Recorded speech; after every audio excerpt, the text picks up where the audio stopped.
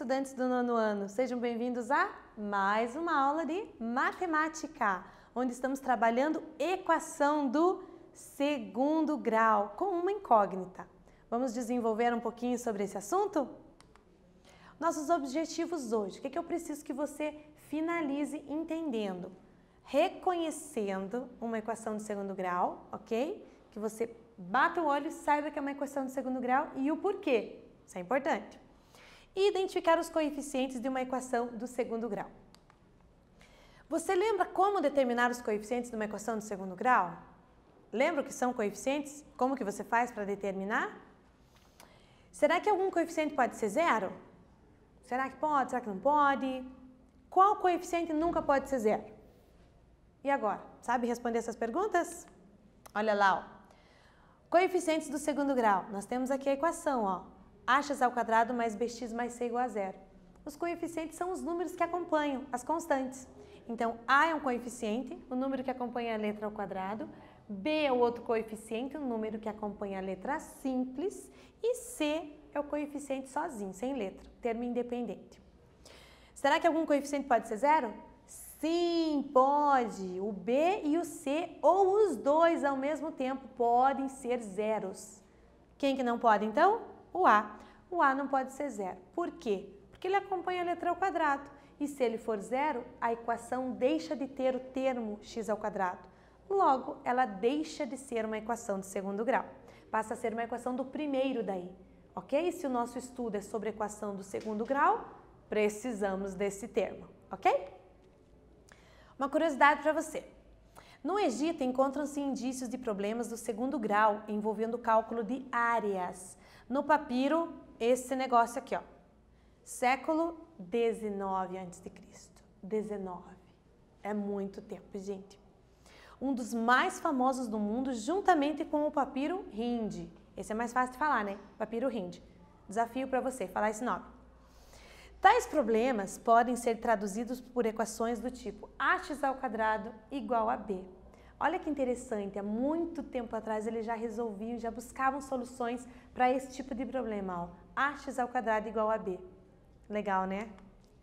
Então, toda equação do segundo grau, gente, com uma incógnita, estamos focando na incógnita x, pode ser expressa na forma reduzida da seguinte maneira.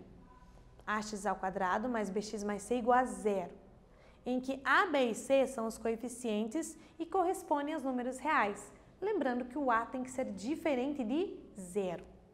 Nesse caso, dizemos que A é o coeficiente de x ao quadrado, B é o coeficiente de x e C é o termo independente. Então, a forma reduzida, a equação tem que estar escrita desse jeitão aqui, ó, igual a zero, com os termos x ao quadrado, x e o termo independente. Assim é chamado forma reduzida, ok? Podemos classificar uma equação do segundo grau com uma incógnita em dois tipos: a completa e a incompleta. A completa está completa e a incompleta está faltando algo. Difícil? Pronto? Então, a completa, gente, todos os coeficientes A, B e C, eles são diferentes de zero, ou seja, eles existem. Eu tenho os três termos lá, tá completinho. Já a incompleta, eu tenho alguns coeficientes iguais a zero. Como o A não pode ser zero, então ou o B ou o C ou os dois são zeros. Ou seja, em vez de eu ter três termos, eu posso ter apenas dois, x ao quadrado e um, e um outro, né? Ou apenas o termo x ao quadrado, ok? Então, em vez de eu ter três termos, está faltando. Ela é incompleta, ok? Então, muito simples. Completo quando está completa, incompleto quando está faltando alguém. Fácil, né? Molezinha. Então, olha lá alguns exemplos. Ó. Completa menos x ao quadrado menos 8x mais 12. Tem todo mundo ali. Três termos, ó, tá vendo? 5x ao quadrado menos 3x menos 2 igual a zero. Tem todos os coeficientes A, B e C, ó, todos eles diferentes de zero. Aqui eu tenho alguns exemplos onde alguns carinhas são zeros. Então aqui nessa primeira coluna eu tenho C igual a zero. Então se você reparar, a equação ela só tem dois termos. O termo com x ao quadrado e o termo com x. Não tem o número sozinho. Nessa aqui, dessa do meio, eu tenho b igual a zero, ó. ou seja, eu não tenho termo com a letra simples. Eu tenho termo com a letra ao quadrado e o número sozinho, ó. x ao quadrado menos 36 igual a zero. 8x ao quadrado menos 800 igual a zero. Dois termos, ó, está faltando o terceiro. E nesse último caso, as duas são zero, ou seja, o b e o c. Então, eu só tenho o termo com x ao quadrado. 3x ao quadrado igual a zero, não deixa de ser uma equação de segundo grau. Menos 10x ao quadrado igual a zero. Então, eu só tenho o termo, o coeficiente a. O b e o c valem zero, ok? Então, incompleta, dois termos, ou um, né? E a completa, eu acabo tendo três termos. Tudo certinho organizado, tá bom? Exercício 1 para você, olha lá. Escreva a equação ax ao quadrado mais bx mais c igual a zero. Quando? Então, agora eu forneci os coeficientes e quero que você escreva a equação do segundo grau. Consegue? Fácil, né? Faz aí que eu já volto.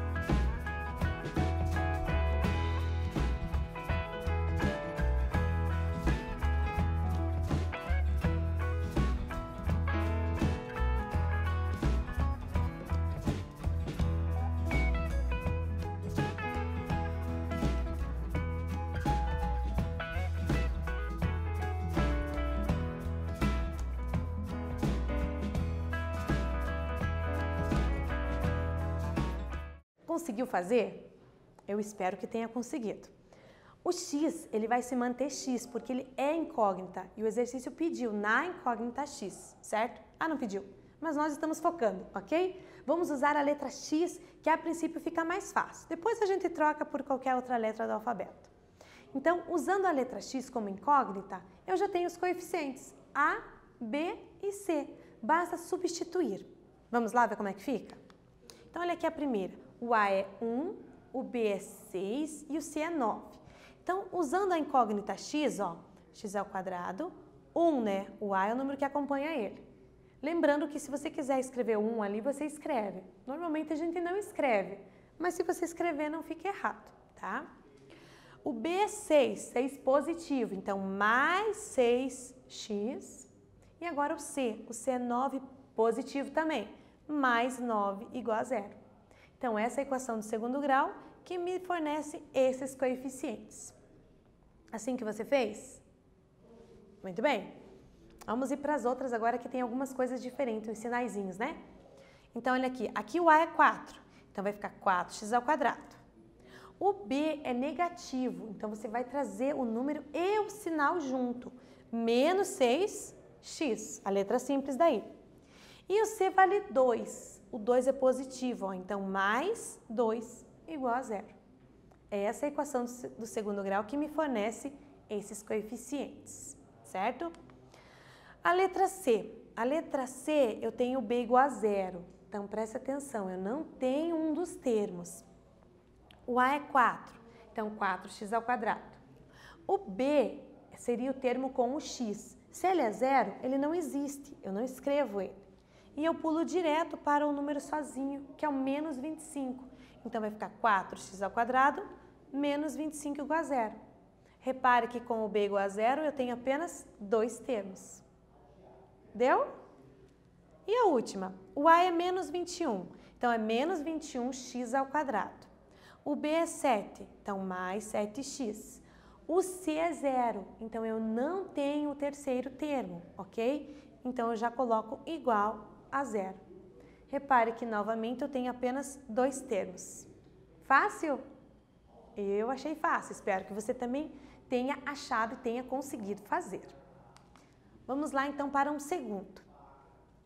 Identifique como completa ou incompleta cada equação do segundo grau.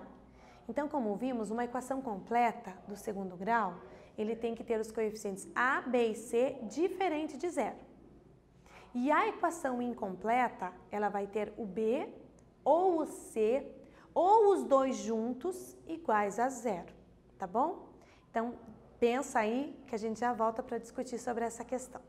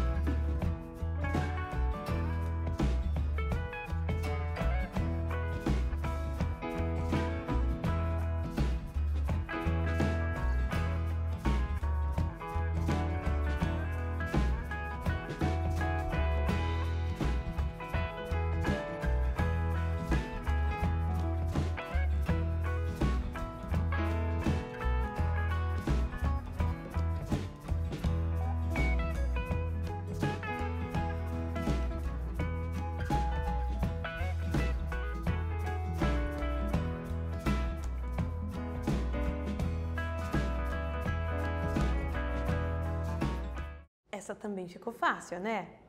Eu esqueci de dar uma outra dica. Na verdade, eu não esqueci, eu não dei de propósito. Um jeito mais fácil de identificar ainda é você olhar os termos. Tem os três termos, x ao quadrado, x é o número sozinho, completa. Tem dois termos, x ao quadrado e x, x ao quadrado e número. Ou só o x ao quadrado, um termo, incompleta. Fica bem fácil, né? Então vamos lá. A primeira, x ao quadrado, x e o número. Completa, ó. todos os coeficientes são diferentes de zero. Simples assim. A segunda, x ao quadrado, x e o número. Os três termos, os três diferentes de zero. Completa. Simples assim, ok? Letra C, x ao quadrado e o número. Opa, tá faltando um. Significa que nesse caso o B, ó, que é o número que acompanha a letra simples, ele é zero. Então tá faltando um termo. Incompleta. Acabou. Você só precisa responder, tá bom, gente? Eu estou colocando o porquê que ela é ou não. Mas é muito fácil de identificar, né? Que é e a D? Dois termos, ó. Um com x ao quadrado, um com x. Tá faltando um número sozinho. Ela é incompleta, ó. C igual a zero. Fácil? Bem tranquilo também, né? Espero que você esteja caminhando comigo aqui, entendendo. Vamos para o terceiro e último? Ele fala assim, ó. Dada a equação de segundo grau.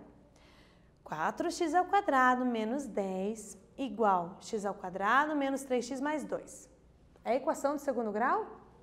Bom, vamos analisar. Tem a incógnita, tem a incógnita elevada ao quadrado e tem o sinal de igual. É uma equação de segundo grau. Ela só não está numa forma adequada para que a gente consiga bater os olhos e enxergar, visualizar ela. Mas ela é. O que, que ele está pedindo? Escreva na forma reduzida. Forma reduzida é aquela forma que a gente está acostumado, que é igual a zero ax ao quadrado mais bx mais c.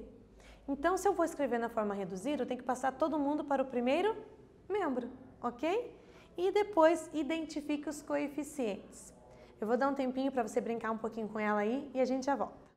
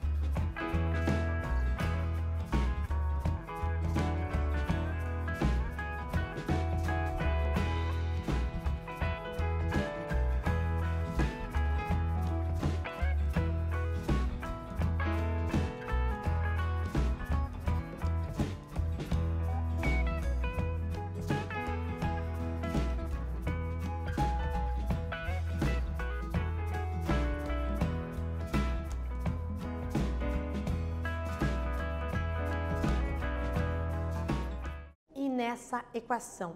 Você conseguiu trabalhar? Porque nós temos que fazer duas coisas aí, né? Deixar na forma reduzida e, por último, depois de estar na forma reduzida, tirar os coeficientes. Quer ver? Vem cá.